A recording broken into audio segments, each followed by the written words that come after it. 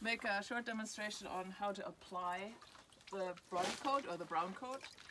And what, first of all, with plaster, you always have to get your surface damp. Now, damp means it changes color like this, but that's also all it means. If once, if you get so much water on here that this is starting to run, you have too much water. So just shoot some water on there either with a brush or with a, you can use a hose to spray it. But the hose is harder to measure and harder to control. So I'm always a fan of brushes. so I'm gonna use this hawk. And I'd like to, I get the hawk wet a bit just so the clay has this thing to move. And then I'm gonna, this is our beautiful mix now. And you can see this mix is full of straw and it has a nice uh, uh, strength. It doesn't run off my hand, right? I can still hold it. That's pretty strong for a plaster. And so this is because we're trying to sculpt and build a thicker thing than a thin layer of plaster. If you want a thin layer of plaster, you need something that's much lighter that will just move under your trowel. But this one isn't going to be so light. So because I'm not superwoman, I'm going to try a fairly small tool, so I'm going to use this one because I don't want to overwork my arms.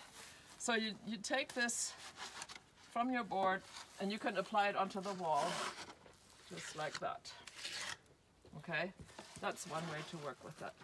Uh, this is a bit of a trick here with with the board. You bring it over, you bring it up, and you are actually supposed to move the board past your trowel not your trowel from the board. There's a difference, and if you can get that into your body right in the beginning, it'll be way easier than me, where I learned it just at the very years into a wrong movement, right? So, put this on here, and you take some off, you separate, and you let this thing put it on your thing. I, I have that same problem still.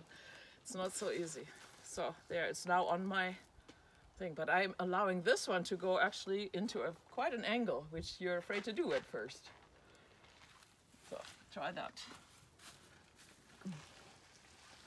And you just kind of spread it on the wall, and when you have a bunch of it on there, you can now uh, work with it. I'm a little rusty today because it it's been a while since I've done this. So you can now take this and shape it. You can pull a trowel around very nicely and see how it makes a, a steadier curve than when you do this by hand, right? And you have to, it takes a little practice and you, you will develop more and more skill over time. Now this body coat has the ability to do other tricks. So now if I want something bigger in one area, I can I can start making shapes with this, right? It has the ability to stand up. This, this is why we have so much straw in there, to make this have the, the, the possibility of standing and making shapes.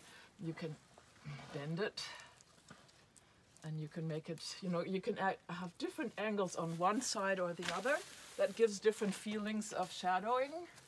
And this is an exploration, really, uh, in, into sculpture, where you can just discover what something can do, or what a shape does, or what a line does, or what an angle does, and what a curve does. So you can create these things on your wall that are something or that are not, depending on what you want, right? This is totally an example and I'm going to take it off. But you see how this is standing there. And we can leave this standing here now. We can revisit it later in the day. And then we're going to look at how is it doing because it will shrink as it dries and we will have to then go back and compress. And this is when the littler tools come in into these places to, to add the pressure so that it gets denser and then you will have no shrinkage in the future. Mm.